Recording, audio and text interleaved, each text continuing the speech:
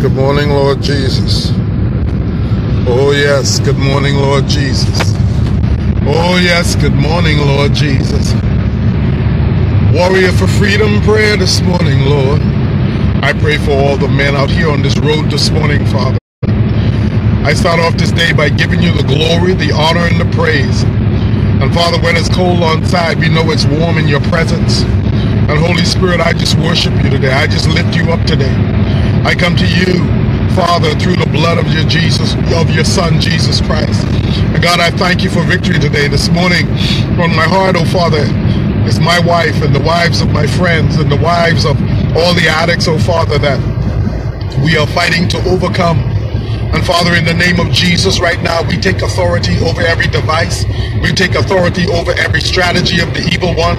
We take authority over every legal right that the enemy has, oh God, to rise up in a man's life. And we pray, oh God, for the women that are suffering from PTSD, oh God, of the addictions, oh Father, and the wounds that we as men have caused on our family. Father, in the name of Jesus, right now, I speak today that there's victory as I walk down this, as I drive down this road, oh Father. I speak today that every strategy, oh God, that device of the enemy within the environment, oh Father, over West Palm Beach, over Florida, oh Father, is broken.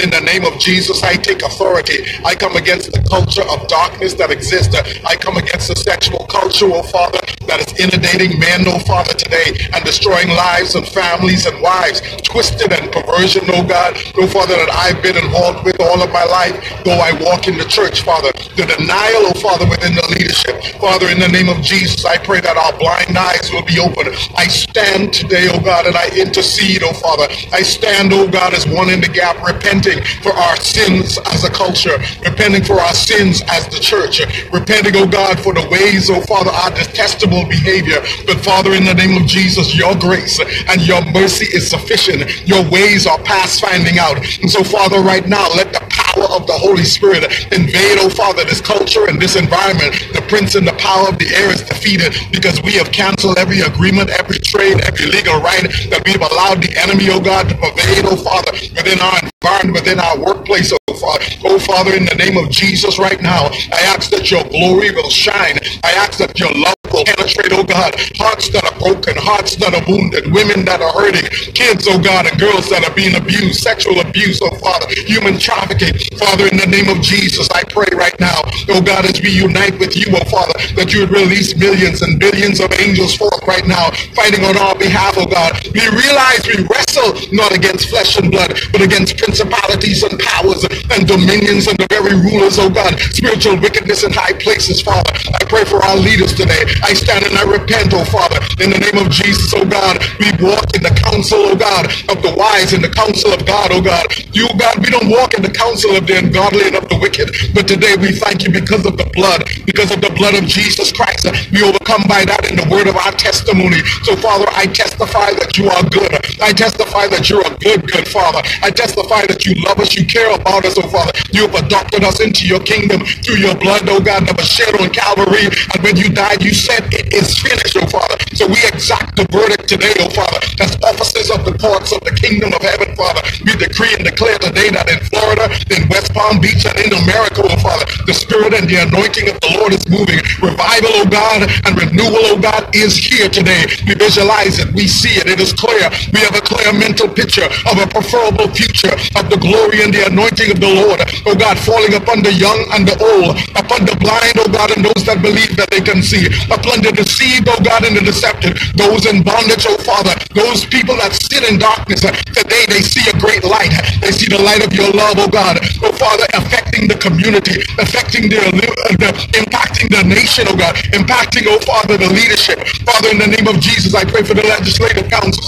I pray, oh Father, for the city councils. I pray, oh God, at the state level. I pray, Father, in the name of Jesus, congressional level, Senate levels today, oh Father. I decree and declare that every law that the enemy tries to push through, oh God, oh God, to legalize, oh God, destructive forces and things, oh God, that is unleashed upon the society, unleashed upon the black man, the white man, the Chinese man, the Indian man. I pray that all of the generational curses of Ham is broken over every black person, oh Father, of African descent, Father. In the name of Jesus today, oh Father, I decree and declare in the spirit realm that the glory of the Lord is shining the day of the Lord is at hand. and your mercy and your grace, oh Father, is sufficient today. I speak today that my wife is blessed. I speak today that my daughters are blessed. I speak today that wives and sisters and mothers, oh God, go free today. Those in prostitution, those in strip clubs, those, oh Father, in the name of Jesus that are online, oh God, doing detestable things. In the name of Jesus, I pray that your love and mercy will go out towards them, oh God. You're looking for someone that sees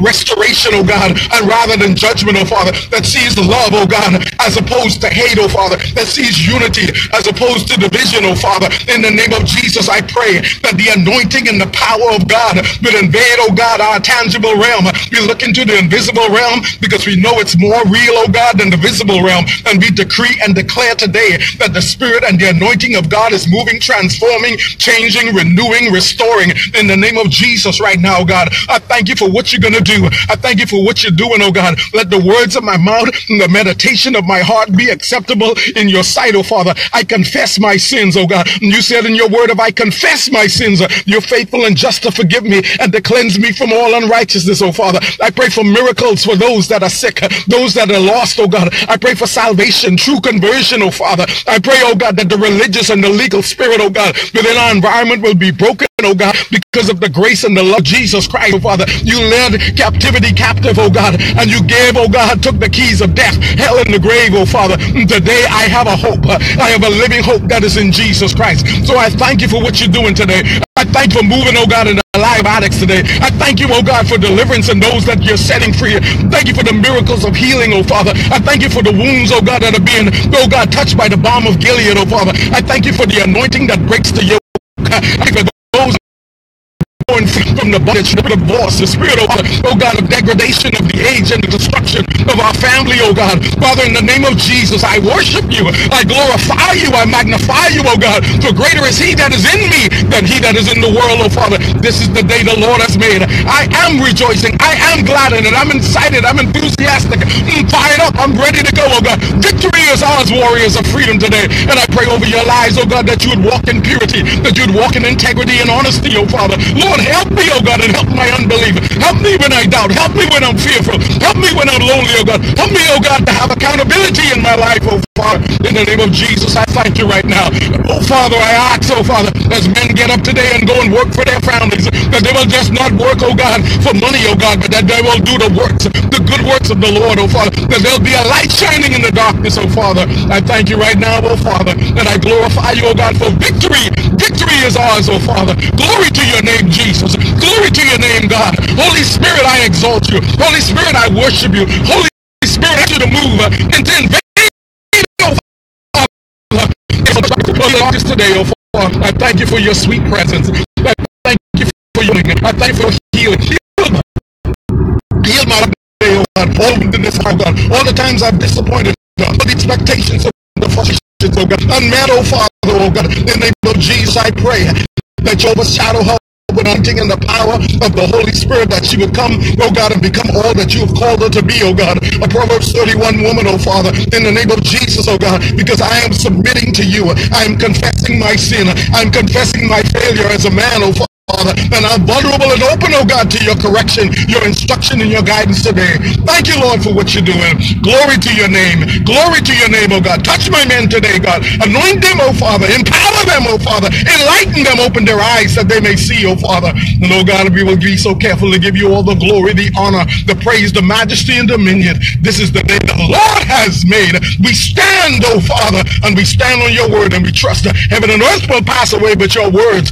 will not pass away, oh God. This is the Lord's doing, oh Father. And it's a good and a new thing, oh Father. And I thank you, oh God, because we can't comprehend what is the length or the width or the height or the depth of your love, oh God. What shall separate me from the love of God? Nothing, uh, Paul says. I am convinced today, oh Father, that your love, oh God, penetrates every circumstance and situation to bring deliverance, healing, and freedom in Jesus' wonderful name. Thank you for your goodness, God. Thank you for what you're doing today, oh Father. Move us from the red light of life and let us move into the green of the anointing of your Holy Spirit to fulfill the purpose and the destiny for which you have called us in Jesus' name to do good works. Thank you, Lord Jesus. Thank you, Lord Jesus. Thank you, Lord Jesus. Thank you, Lord Jesus. Thank you, God. Thank you, Father. You're a good, good Father. That's who you are, oh Father. And I worship you, and I worship you, and I adore you, and I exalt you, and I thank you right now. Hallelujah. Hallelujah. Glory be to God. Glory be to God. Glory be to God. He is good, and his mercy endures forever. Amen and amen.